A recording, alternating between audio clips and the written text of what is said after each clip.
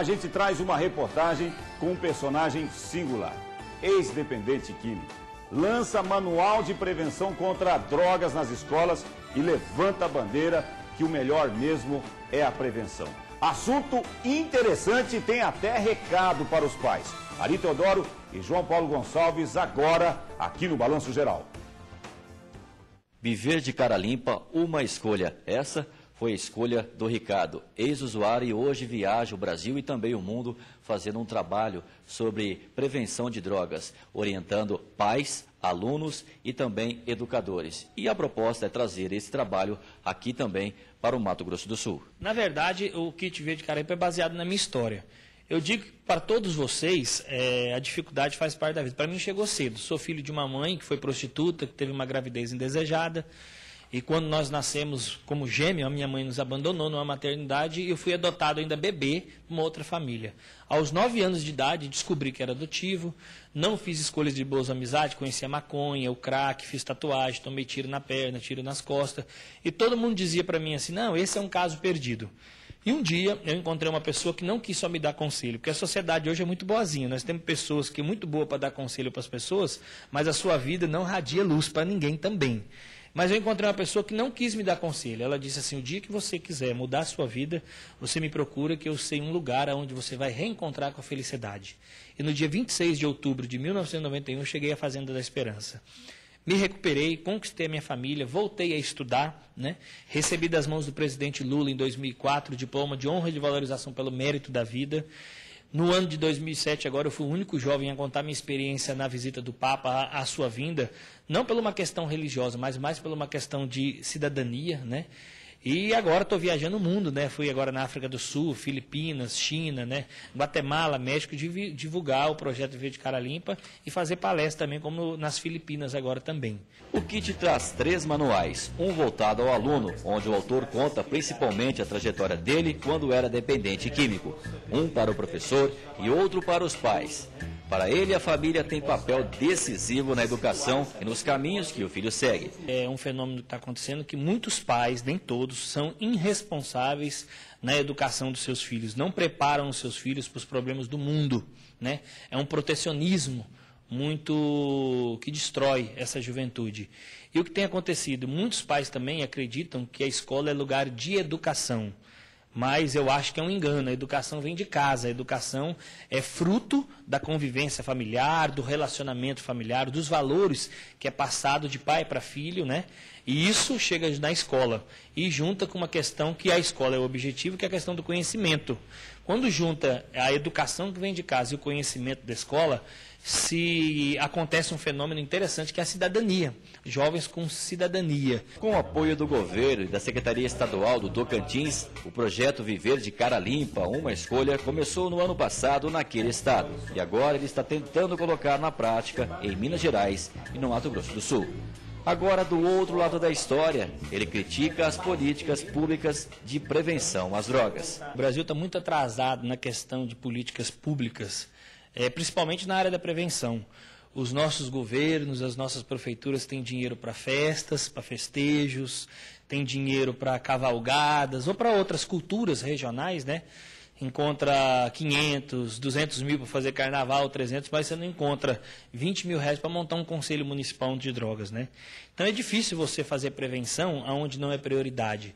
O que com o tempo está acontecendo, que os nossos governantes estão entendendo, que estradas boas são interessantes, viadutos são interessantes, rede de esgoto é interessante, né? hospitais é interessante, mas quem usa tudo isso é o cidadão. E se o cidadão não for prioridade dentro de todo esse quebra-cabeça, nós vamos ter estradas boas, mas jovens dirigindo bêbado, criando acidentes. Nós vamos ter é, outros problemas também, a escola de tempo integral, bonita, tudo, mais que a gente sabe que a formação só educacional de casa precisa preencher com a educação é, do aprendizagem da escola para se criar cidadão também. O Balanço Geral mostrou uma série de reportagens de adolescentes e jovens consumindo drogas em Campo Grande. Em cada ponto, a imagem que choca a sociedade. Perto do antigo terminal rodoviário da capital, por ali, a área foi batizada de Cracolândia. O uso de entorpecentes foi registrado por nossas câmeras até durante o dia.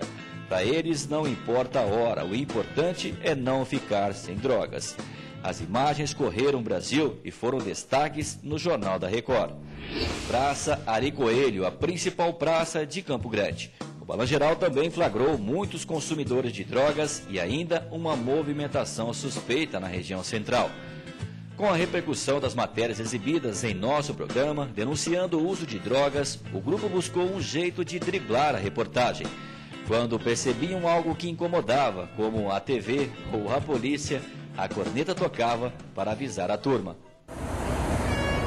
Praça Jardim dos Estados, ao lado do shopping, mais flagrantes registrados pelo Balanço Geral. Menores e maiores de idade fumando maconha ou cheirando cocaína bem tranquilamente.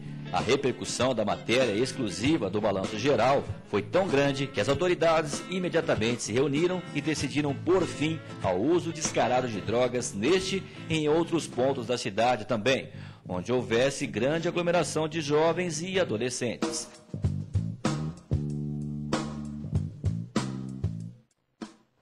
E lá se vai a escada, né? A gente viu, né, o Ricardo Ribeirinha, que é um dos coordenadores do, do Serviço de Combate ao Uso de Drogas, Serviço de Prevenção lá no estado do Tocantins, que esteve essa semana aqui em Mato Grosso do Sul, dizendo que os estados muitas vezes se preocupam, né, ao se desinvestir dinheiro em eventos que são sim necessários, em muitas outras é, atividades, mas se esquecem de tentar criar algo para salvar a juventude, né? Uma reclamação muito lógica e que tem eco na sociedade sumatogrossense, na sociedade campograndense, em cada um dos municípios do nosso estado. É, gasta-se muito com situações talvez até necessárias, muitas das vezes necessárias, mas quando se trata de buscar resgatar essas pessoas que estão andando aí como mulambentos pelas ruas, sofrendo na escravidão do mundo das drogas, aí a situação é difícil, a burocracia é imensa e falta muitas das vezes vontade política. E aí eu queria fazer uma observação, Rodrigo, que as autoridades, quando viram a matéria sobre essa praça, onde estava a, a, a culpada, que é a escada, elas se reuniram. Muito bom. Parabéns às autoridades Opa. por terem tomado a iniciativa. Nós aqui batemos palmas para as autoridades. Agora, o encaminhamento e a conclusão, dá licença. Botar a dona Escada como responsável pelo consumo de drogas, transformar o direito das pessoas de ir e virem responsável pelo consumo das drogas, não está certo. Não está certo, porque aqueles que estavam usando droga ali com certeza vão mudar para mais perto, Rodrigo. Ah, molecada vai ter outro lugar, né? Vão se encontrar em outro lugar.